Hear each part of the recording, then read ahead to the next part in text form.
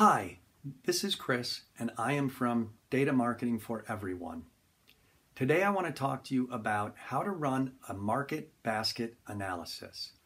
A market basket analysis is a technique that you can use to find a group of customers who are not buying a product that they should be buying, and therefore you can give them a discount and get margin that you probably would never have already gotten. So, a good example of running a market basket analysis would be if we were a shaving company and we sell cologne and shaving razors and blades and a number of other items. If I could figure out who are the customers that bought my razors but have yet to buy my replacement blades, I could take those customers and those customers alone and give them a discount on my blades and I don't mind suffering margin by giving them a discount because if they haven't bought my blade replacements by now, I'm working under the assumption that they may never buy them. What I don't want to do is I don't want to include customers that are already buying my replacement blades because I don't really want to discount them because then I will suffer margin that I could gain. Remember, when you discount, every discount dollar comes off of your profit, right? Your cost of goods sold stay the same. So discounting to the wrong people can be a little dangerous. I'm going to do my market basket analysis using Microsoft Excel. And if you've watched my videos, you know I'll use Excel to maybe 100,000 records, but maybe a million, two million records, I'd recommend Microsoft Access. If you have any questions on how to run a market basket analysis, or how to use Microsoft Access for this, or any other questions you want me to take on offline, I can be reached at datamarketingforeveryone at gmail.com. Again, my name is Chris, and I hope this helps you out. Thanks. To do the market basket analysis, we will need transaction data. Um, and transaction data is going to come out in two different ways that we don't really want it to. One is it's going to come along with data that we might or might not need for this analysis. Um, it's normally going to come out with some customer information, uh, the quantity, the product, the, hopefully the customer code, because we do need this, and we do need a product ID, purchase date, purchase time, all kinds of stuff, whether or not they paid with credit card. Um, but for the purposes of this analysis, we really only need a customer code and some sort of unique product identifier. In this case, because it's sample data, I just use a name. Um, this being sample data, I think there's 250, maybe 300 lines of data. If there were 200,000, 300,000 lines of data, I'd do it the exact same way if I were doing it in Excel. So the other nuance is Bob here he shows up four times because he's had four orders for different products at different times. So what we want to arrive on is we want to arrive on a list that has one of every customer code, no duplicate customer codes, and some way to figure out if they bought a razor and they bought a razor blade. And we're going to do that with a pivot table. But first, we need to get rid of all the columns we don't need. I'm just going to delete them because they are irrelevant. Okay, so we're going to use a pivot table, which is a really handy tool.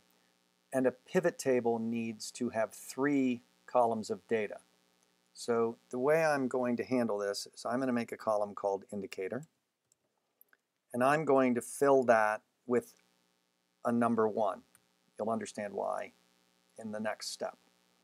I'm going to fill that number down for every piece of data. So adjacent to every piece of data in these two, there's a number one. To run my pivot table, I just need to highlight these. And then data, right here's pivot table. When I click this, a pivot table will be created on a separate sheet or a separate tab. And you'll see there it is. Um, now that pivot table is on sheet one. Unfortunately, I need customer IDs down the column and I need product names across the top. The good news is it's real easy to do. So I'm going to use the pivot table builder. I'm going to uncheck customer code. I'm going to uncheck product.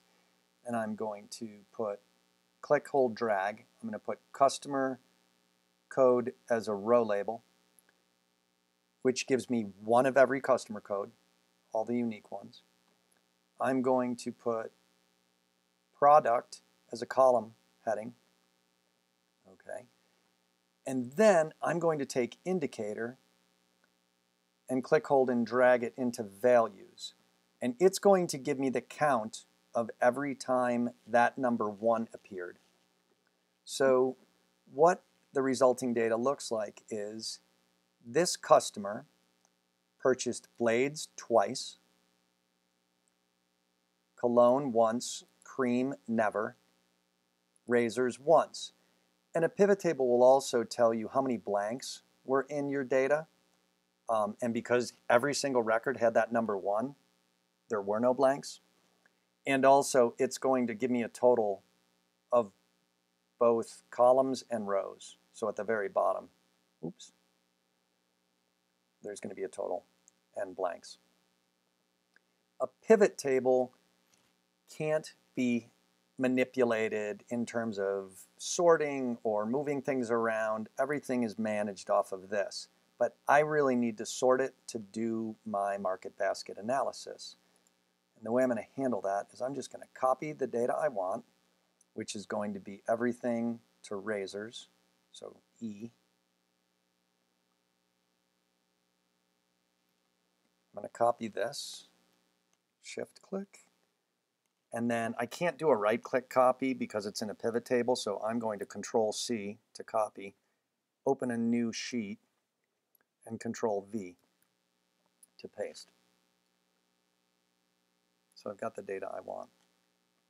And then as a matter of housekeeping, because I am kind of maniacal about labels and making sure my data's uh, easy to figure out, I'm going to change this to be pivot because that's where my pivot table is. I'm going to change this tab to be, um, this is going to ultimately be the targets we want to hit. Oops.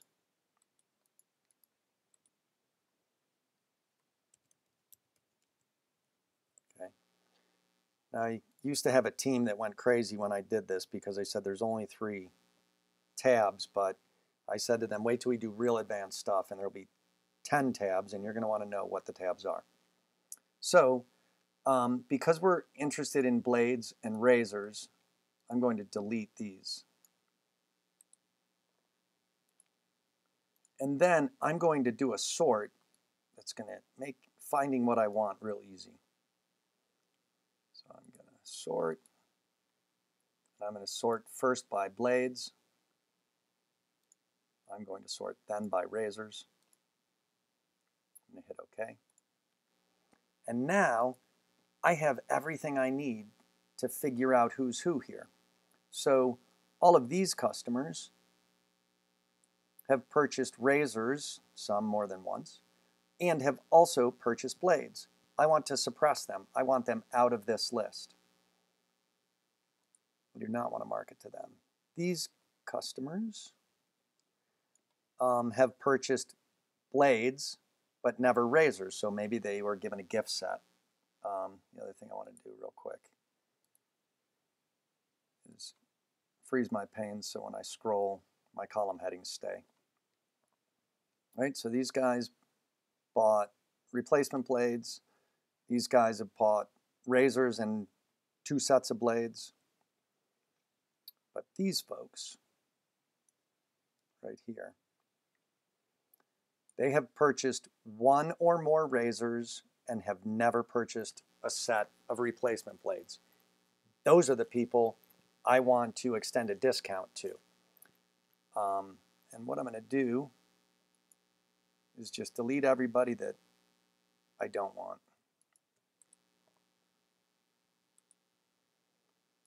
Delete you. These are folks that probably just bought my gift set. I'm going to delete you. So these are the customers. Granted, there's not that many because it's it's an example set of data. There's only 18. I've done this where the result was 18,000. I've done this where the result was 180,000. So what I know about these customer IDs is they have purchased razors and they've never bought my blades. Um, so I have no problem giving these folks a discount off of blades because any money I get from them is money that I probably would not have otherwise gotten, right? They're buying their blades from somebody else, or maybe their razors in their drawer and they forgot about it. But if I give them an offer on blades, I'll make some money off of them and maybe get them to buy blades again and again and again.